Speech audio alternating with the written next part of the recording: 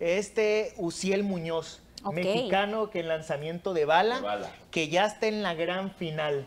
Está en la gran final mañana a las 12 del día se va a, llegar- se va a llevar a cabo la gran final eh, de lanzamiento de bala. Primera vez que un mexicano avanza, es histórico llegar a la final de lanzamiento de bala. Son Míralo. varios concursantes, no es una final de dos, de tres, de cuatro, pero bueno, ya estar en estas instancias.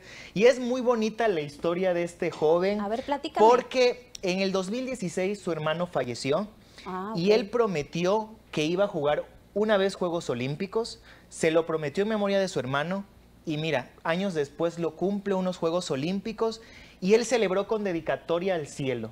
Entonces yo creo que todo México está con él apoyándolo, porque como él lo dijo, tiene dedicatoria para su hermano, le cumplió la promesa y bueno, yo creo que su hermano y todo México va a estar mañana acompañándolo Claro. para que una medalla posiblemente vaya a pelear este Uciel Muñoz. Lanzamiento de bala. Lanzamiento de bala, un deporte que no tenemos en, en la mira aquí en México, pero este, este muchacho, porque igual es un joven y todo eso, veintitantos años, eh, dio la cara por México y mira, ya estamos en la final en lanzamiento de bala. Gabo. Lanzamiento de bala, sí. Así es. Es que todo el tema del lanzamiento de, jabol- de jabalina, de disco, de Sí, bala, sí, de sí. martillo, sí se practica en todo el atletismo este, claro. y también se, eh, se imparte como, Sí, sí, sí. como eh, eh, clases.